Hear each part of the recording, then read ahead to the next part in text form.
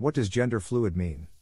Gender fluid is a term used to describe a gender identity that is not fixed or static, but rather changes and fluctuates over time. Individuals who identify as gender fluid may experience their gender identity as being fluid, meaning they may feel a combination of both masculine and feminine traits or identify with different genders at different times. Gender fluidity challenges the notion of a fixed gender identity and acknowledges that gender can be a more complex and nuanced concept than simply male or female. Some individuals who are gender fluid may identify as a mix of genders, while others may feel their gender identity shifting between different genders. It's important to note that gender fluidity is just one of many non binary gender identities, which encompass a wide range of gender experiences beyond the traditional male and female binary.